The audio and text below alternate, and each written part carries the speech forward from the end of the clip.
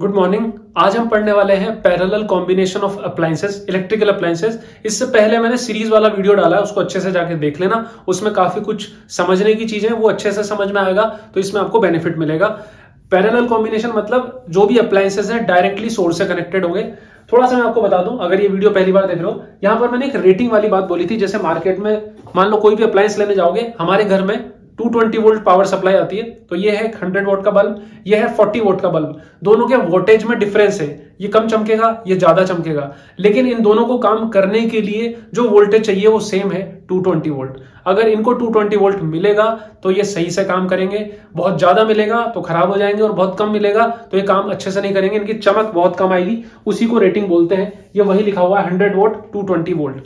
अब ऐसे यहाँ पर मैंने तीन अप्लायंसेस लिए, जिनकी पावर अलग अलग है और वोल्टेज तीनों का सेम है। मतलब इन तीनों को काम करने के लिए सेम वोल्ट चाहिए।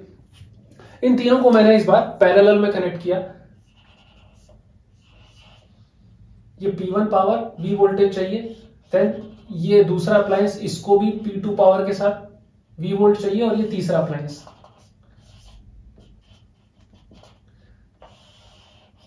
और इन तीनों को लगा दिया मैंने पैरेलल में। पैरेलल कॉम्बिनेशन की खासियत होती है कि जितनी भी चीज़ें आप लगाओगे, उन सब पे वोल्टेज सेम जाता है। मतलब इसको वी वोल्टेज चाहिए था वी ही मिल रहा है। इसको वी वोल्टेज चाहिए था वी ही मिल रहा है। इसको वी वोल्टेज चाहिए था वी ही मिल रहा है। तीनों को जितना वोल्टेज चाहिए था, जिसको काम करने के लिए जितना पैसा चाहिए था, उतना दे रहे हो, मुँह मांगा, पैसा दे रहे हो तो काम अच्छा करके देगा। वैसा ही कुछ यहाँ पर है कि जब तीनों को आप पैरेलल में लगाओगे तो सर्किट की ओवरऑल पावर बढ़ेगी। पहला रीजन तो ये है कि जितना वोल्टेज जिसको चाहिए, उतना मिल रहा है। दूसरा रीजन ये कि इन सब जो अप्लायंस है, उनके अंदर कुछ ना कुछ रेजिस्टेंस होगा। जब आप पैरेलल में अप्लायंसेस को लगाते हो तो ओवरऑल रेजिस्टेंस डिक्रीज होता है। जब रेजिस्टेंस डिक्रीज होगा तो इस सर्किट में फ्लो होने वाली करंट काफ़ी बढ़ जाएगी और जब करंट बढ़ जाएगी तो ज़्यादा पावर जनरेट होगी। मैंने आपको पहले भी बोला था कि जब भी आप पावर के क्वेश्चन करो, सबसे पहले जो स्टेप होनी चाहिए, वो यही होनी चाहिए कि आप क्या निकाल लो? रेजिस्टेंस को निकालो। रेजिस्टेंस निकालने के लिए जो मैं फॉर्मूला काम में लूँगा, वो होगा R is equal to V square by P वो भी मैं समझा चुका हूँ पिछले वीडियो में। तो उसको जाके आप देख लेना। यहाँ पर क्या हो रहा है कि जैसे मेरे को निकालना है आर वन तो आर वन क्या हो जाएगा? R one is equal to V square upon P one R two हो जाएगा V square by P two और आर थ्री हो जाएगा V square by P three थोड़ा सा मैं आपको बता दूँ कि यहाँ पर ये V square V square V square तीनों में सेम मैंने इसलिए नहीं लिया कि ये पैरेलल कॉम्बिनेशन में है। ये वी स्क्वायर मैंने सिर्फ़ इसलिए लिया है क्योंकि इसकी रेटिंग ही वी है। अगर यहाँ पर वोल्टेज कुछ और दिया होता, मान लो वी डैश होता तीनों का तो मैं यहाँ वी डैश लिखता, ना कि वी लिखता। वो अलग बात है कि आप सप्लाई भी कितना कर दे रहे हो वी ही कर रहे हो, लेकिन मैं रेजिस्टेंस इसका निकाल रहा हूँ। इंडिविजुअल इस इस सेल मतलब इस जो भी अप्लायंस है, उसका रेजिस्टेंस निकाला मैंने आर वन इसका रेजिस्टेंस आर टू इसका रेजिस्टेंस आर थ्री इसको कोई फ़र्क नहीं पड़ता, आप इसको सीरीज़ में लगाओ या पैरेलल में लगाओ, इसका रेजिस्टेंस थोड़ी ना चेंज हो जाएगा। तो मैं इसको छुपा रहा हूँ यहाँ से। इसको छुपाने के बाद भी मैं यही चीज़ें लिखूँगा सारी की सारी। बहुत ध्यान से रेजिस्टेंस निकालना सीख लो आप चीज़ों का। यहाँ पर निकाल दो, अगर आप बोलो तो। यहाँ लिख दो, इसका रेजिस्टेंस आर वन है। R one is equal to V square by P इसका resistance R two is equal to V square by P one P two और इसका रेजिस्टेंस आर थ्री हो जाएगा V square by P three इससे मुझे कोई मतलब नहीं सीरीज़ में लगाया पैरेलल में लगाया। अब आएगा, लेकिन मतलब। अब क्योंकि इसको पैरेलल में लगाया तो पैरेलल में जो रेजिस्टेंस होता है, उसको कैसे लिखते हैं? इस तरीके से लिखते हैं one upon R is equal to one upon R one plus one upon R two plus one upon R three ठीक है? आर वन आर वन तो ये है V square by P one तो वन अपॉन आर वन क्या हो जाएगा? P one upon V square plus P two upon V square plus P three P three upon V ठीक है? अब यहाँ पर क्या लिखे? यहाँ पर क्या लिखेंगे कि अगर मान लो इन इन तीनों को मिला के एक इमेजिनरी सर्किट जिसमें एक ही अप्लायंस उस अप्लायंस की जो पावर है वो है पी पैरेलल और वोल्टेज कितना मिल रहा है उसको? अप्लायंस से कितना होना? वी से। ये रहा वी वाला मामला। तो यहाँ पर भी तो मैं लिख सकता हूँ उसको individual power R R equal to देखो मैं लिख देता हूँ ना कंफ्यूजन हो जाएगा। तो R equals to V square by P में यहाँ पर पी एस आएगा पी पैरेलल आएगा। जब आर पैरेलल लिख रहा हूँ तो। यहाँ समझ में आया? वही चीज़ में लिख रहा हूँ। आर पी की जगह पी पी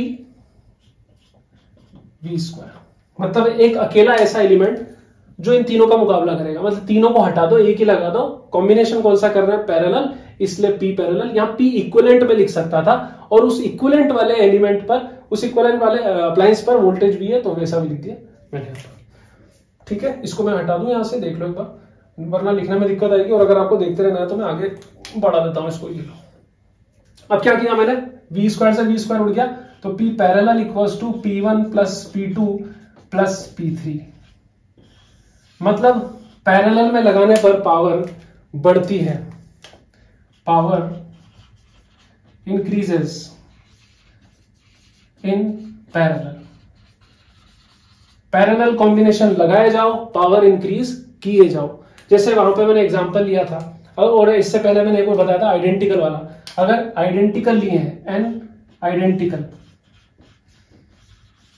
मतलब P1 one equals to P two equals to P three equals to P है। बहुत सारे चले जा रहे हैं तो बहुत सारे चले जा रहे हैं तो लो इक्वल्स टू पी तो यहाँ पर क्या किया? P parallel equals to P one plus P two plus P three ऐसे करता जाऊँगा कितने टाइम एन टाइम्स और क्योंकि सब सेम है तो इसका मैं हटा सकता हूँ यहाँ से। ये देखो, P plus P plus P n times तो P पैरेलल इक्वल्स टू कितना हो गया? N times of P. आया कुछ समझ में? पैरेलल में बढ़ाता जाओ जैसे जैसे नंबर बढ़ता जाएगा, वैसे वैसे पावर बढ़ती जाएगी। सीरीज़ में जैसे जैसे नंबर बढ़ता गया था पावर घटती गई थी। यहाँ पर जितने ज़्यादा आप बल्ब लगाते जाओगे अप्लाइंस लगाते जाओगे पावर बढ़ जाएगी। यहाँ से मिटाने में बता रहा हूँ। तीनों आइडेंटिकल बल्ब है। तीनों को 220 वोल्ट सप्लाई पे लगाया। और इन सबको 220 वोल्ट ही चाहिए थे। ये बल्ब है 10 वोल्ट का, और इसको चाहिए था 20 220 वोल्ट ये बल्ब भी है 10 वोल्ट का, और इसको भी 220 वोल्ट चाहिए था। और ये बल्ब भी है 10 वोल्ट का, और इसको भी 220 वोल्ट चाहिए था। तीनों आइडेंटिकल है। जब आइडेंटिकल होंगे तो क्या करेंगे? एन टाइम्स ऑफ़ पी कर देंगे। यहाँ पर पी कितना है? पी है यहाँ पर 10 एन कितना है 3 तो पी पैरेलल कितना आ गया? 30 वोल्ट अकेले से कितना ज़्यादा आ गया? काफ़ी ज़्यादा आ गया। अगर आप बोलो कि नहीं अलग अलग ले लेते हैं तो भी ले सकते थे। टेन ट्वेंटी थर्टी का ले लो। उन सबको फिर से ऐड कर दो तो thirty plus twenty fifty plus ten sixty मतलब सीधा सीधा ऐड होता चला जा रहा है। उसका रीजन मैं आपको बता चुका हूँ। तो आई होप आपको ये वीडियो समझ में आएगा। बल्ब वाले क्वेश्चन भी आने वाले हैं। और भी बहुत सारे टाइप वाले क्वेश्चन मैं कराता रहूँगा तो मेक श्योर यू सब्सक्राइब और बेल आइकन को ज़रूर दबा लें। Thanks for watching.